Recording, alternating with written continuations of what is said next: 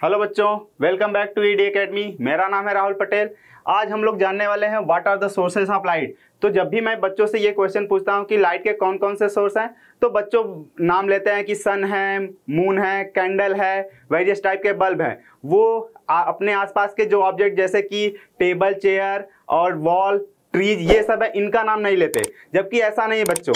कोई भी ऑब्जेक्ट या तो वो लाइट को इमिट करे या लाइट को रिफ्लेक्ट करे, वो सभी क्या बोले जाते हैं? सोर्स ऑफ़ लाइट ठीक है? तो जैसे कि आपका, आप अपने आसपास जितना भी ऑब्जेक्ट देख पा रहे हो, वो सभी क्या है? सोर्स ऑफ़ लाइट जो अपने से खुद से लाइट नहीं इमिट करते हैं उनको हम लोग ल्यूमिनस सोर्स बोलते हैं। जो अपने से लाइट इमिट नहीं करते, वो दूसरे की लाइट को बस रिफ्लेक्ट करते हैं या स्कैटर करते हैं। उनको हम लोग नॉन ल्यूमिनस सोर्स बोलते हैं।